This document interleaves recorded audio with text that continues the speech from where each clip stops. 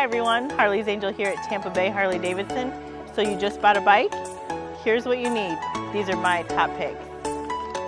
Pants, long sleeve shirt, boots,